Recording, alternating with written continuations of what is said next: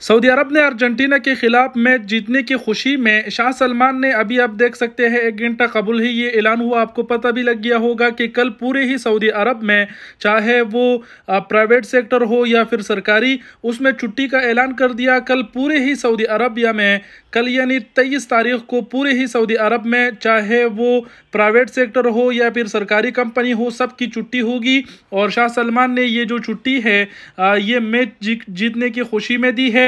तो सबसे पहले आप तमाम तर भाइयों को जितने भी सऊदी अरब में है, सऊदी अरब जो है अर्जेंटीना से जीत गया फुटबॉल मैच और जो है ना तमाम तर को मुबारक हो, क्योंकि सऊदी अरब की खुशी हमारी ही खुशी है।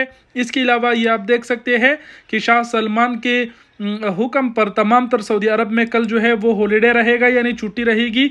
शाह सलमान ने ये बड़ा हुक्म जारी कर दिया। सऊदी अरब जो है वो अर्जेंटीना को शिकस्त देने में कामयाब रहा। ये मुकम्मल जो है अनाउंसमेंट आई है, आप सबके साथ शेयर कर रहे हैं। अगर आपको पता है तो अच्छी बात, नहीं तो अभी हमने आपके साथ शेयर कर दी। इसके अलावा ये भी बताते चलूँ कि ये जो बयान आया है छुट्टी का, इसमें जो तलबा और तलबात है, तमाम तर शामिल है।